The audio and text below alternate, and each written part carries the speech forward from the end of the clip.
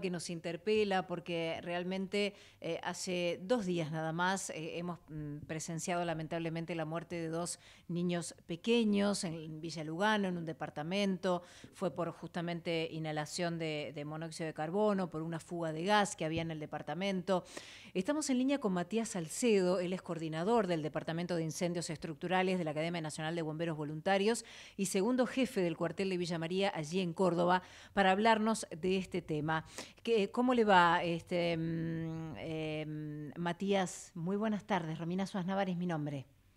¿Cómo le va, Romina? Muy buenas tardes a usted y a toda la audiencia. Agradecerle, Matías, por supuesto, esta comunicación y eh, preguntarle, ¿no? Básicamente, cómo se detecta una fuga de gas en una casa o en un departamento. Mira, existen, existen varios, varios factores y varias, varios elementos que nos podemos que nos podemos dar cuenta, pero en principio es bastante complicado por una cuestión de si es gas de, de, lo que se usa para cocinar, por decirlo de alguna forma, va a tener olor, no va a haber mayor problema porque lo vamos a detectar en el acto porque es un olor muy fuerte a, huevo podrido, que es un olor que incluso lo pone la, la, distribuidora de gas para que se sienta, porque en, sí el gas que nosotros usamos no tiene olor, es inoloro. Sí. Eh, si es ese tipo de gases, lo vamos a detectar rápidamente o fácilmente con nuestro olfato. Si es si es monóxido de carbono por eh, algún tipo de sistema de calefacción que estemos usando y que ese sistema de calefacción no esté funcionando correctamente o no sea adecuado para el lugar donde estamos. Por ejemplo, una estufa, por ejemplo. Y podemos hablar de alguna estufa de las tipos catalíticas que no tienen salida al exterior. Sí. Ese tipo de estufas eh, son las que generan mayores problemas eh, a la hora de los gases eh, de, los gases de monóxido de carbono o mucha mucha gente usa braseros que le llaman que qué hacen prenden fuego prenden en una en, una como en un disco por ejemplo de arado ese tipo de cosas prenden ahí leña lo meten adentro de la habitación dejan que caliente la habitación y en muchos casos dejan el elemento eh, dentro de una habitación generando gases. Mm. Esos gases son mucho más peligrosos porque porque no son no tienen olor, son inoloros totalmente. Claro. Entonces, se da cuenta. claro, y al, y al desalojar el oxígeno de la habitación, porque se van generando en ese lugar, nos termina asfixiando y intoxicando. Matías, ¿qué pasa? Sí, sí, termina la idea, por favor.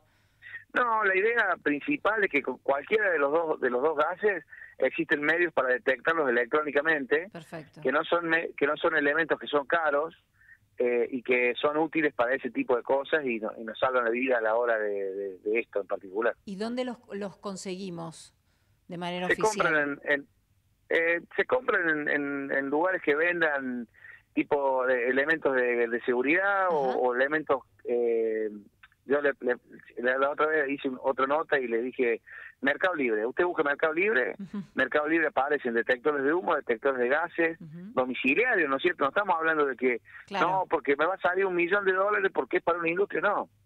Los detectores de eso vienen autónomos que se llaman, que son detectores que se, que se le pone una batería y se los pone en lugares. Si usted tiene, por ejemplo, le voy a dar un ejemplo, si usted tiene gas de garrafa, sí. el detector lo ha puesto a nivel de, a, a 40 centímetros del piso porque el gas de garrafa es más pesado que el aire. Si tiene gas natural, va a la altura de a 40 centímetros del techo, porque el gas hay un montón de cositas a saber, que no es solamente... Eh, pero son cosas muy simples. Seguro que nos pueden eh, ayudar justamente a prevenir este tipo de, desgracias, ¿no? Porque realmente... Eh, van a ayudar a prevenir la muerte de alguien que no va a saber qué está pasando porque no lo va, no lo va a sentir. Perfecto, perfecto. Me, me, atrevo, me atrevo a decir otra cosa. Sí no estamos acostumbrados en Argentina al uso de detectores de humo. eh, y yo siempre digo que nosotros tuvimos un caso en Villa María hace 15 días, eh, nos llaman por un incendio en un departamento, cuando llegamos al lugar nos dicen que había gente gritando adentro, entramos, buscamos, encontramos una chica de 25 años, eh, ya en estado de, inconsciencia, la sacamos, RCP, salió del paro en el hospital, muerte cerebral. Esta chica estaba ropa interior a la una de la mañana, mm. estaba durmiendo y el incendio se dio en el comedor. ¿Qué pasó?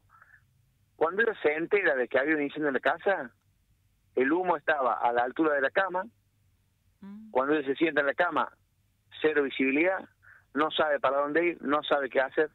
Si nosotros tuviésemos la, la, la, prevención de comprar un detector de humo en nuestra casa, uno, no tenemos, o sea, la gente normal tiene casas pequeñas. Sí, sí, y, el humo siempre va para arriba.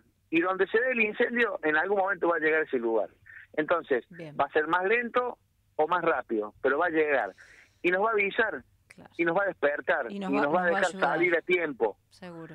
Eh, si no lo tenemos, eh, mire, le voy a dar un ejemplo más. Sí, sí. Yo en mi casa... Perdóneme, pero me, corre me corre este mucho el, el, tiempo. Matías. Bueno, eh, le agradecemos, entonces, detector de humo por un lado y, el otro aparato este, comprado de, manera legal. Le agradecemos muchísimo, seguramente lo vamos a estar contactando en breve para, para seguir con la explicación. Muchas gracias, Matías. Ningún problema. No hay por qué, hasta luego. Ha sido un placer, hasta luego. Matías Salcedo, eh, coordinador del Departamento de Incendio Estructural de la Academia Nacional de Bomberos Voluntarios y segundo jefe del cuartel de bomberos de Villa María, Córdoba.